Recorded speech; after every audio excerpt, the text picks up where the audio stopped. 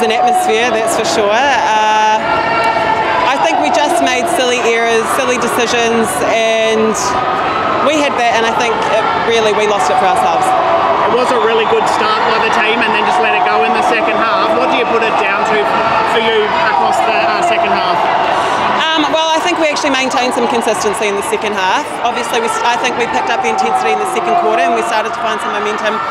Uh, but like I said before, silly errors and we should have made better decisions. But yeah, we'll regroup and we'll be able to come back better tomorrow.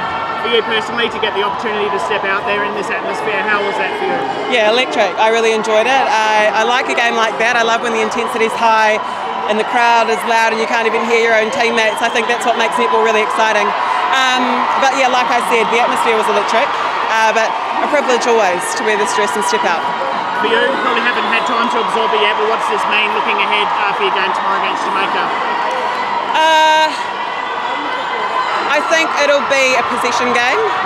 I mean, they've got such a great shooter, so once they get balls, highly likely they're going to get in there quickly, and they're probably going to convert it. So for us, possession is key, and yeah, I mean that's what the, that's what the game of netball is.